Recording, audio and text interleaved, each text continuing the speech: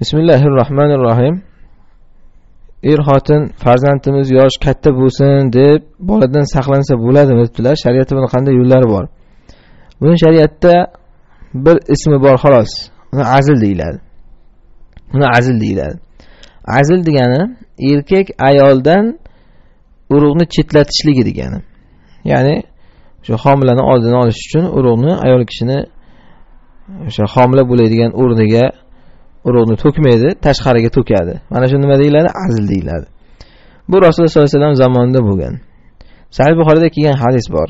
Jobir roziyallohu anhu aytganlar kuna nazil val qur'anu yanzil. Biz azl qilaverardik qur'on tushaverardi degan. Ya'ni bunda nima demoqchi? Qur'on qaytarmasdi demoqchi. Azl qilardik qur'on tushardi lekin qaytarmasdi kimdir aytishi mumkinda rasululloh sollallohu alayhi vasallam bilmagandirda bilsalar qaytarardilar. Rasululloh bilmagan bo'lsa olloh bilgan. Olloh munkarga qarab turmaydi. Agar shu ish noto'g'ri bo'lganda olloh shuni qaytargan bo'lar edi. Shuning uchun azl qilish harom emas aslida. Sahobalar qilgan. Boshqa bir hadisda kelgan ham sahil buxoriyda rasululloh sollallohu alayhi vasallamdan ham so'ralgan hattoki azl qilish haqida.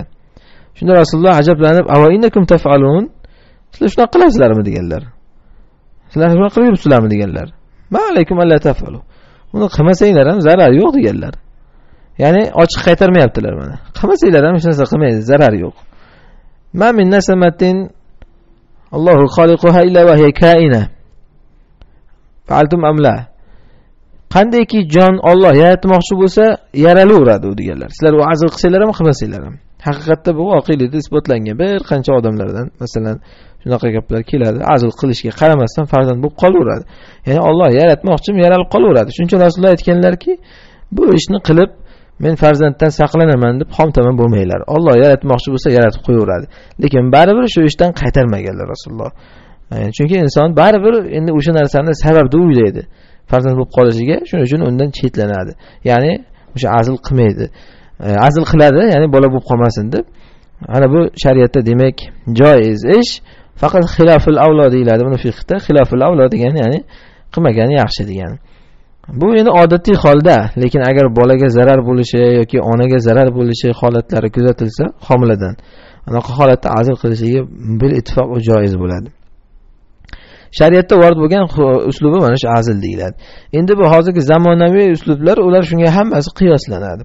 Ya'ni masalan ayol kishi ichiga spiral o'rnatishligimi lulab deyiladi arab tilida ya'ni boshqa har qanaqa turlari yoki erkak kishi e, o'zi o'sha urug'ni to'kilishligini man qiladigan biron narsa taqishligimi bular hammasi o'shanga qiyoslanadi hammasi o'sha hukmida bo'ladi.